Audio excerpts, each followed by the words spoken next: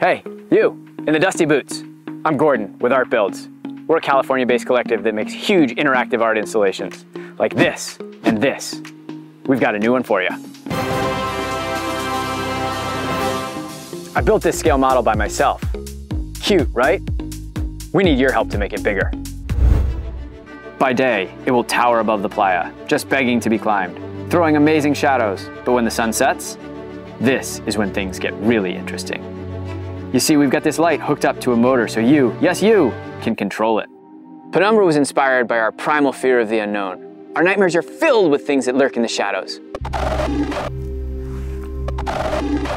Well, we at Art Builds are tired of being afraid, so we created a sculpture that lets you take control of the shadows, bending them to your whims. Guess what?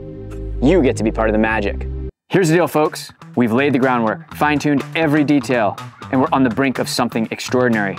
Burning Man has even helped us out with an honorarium.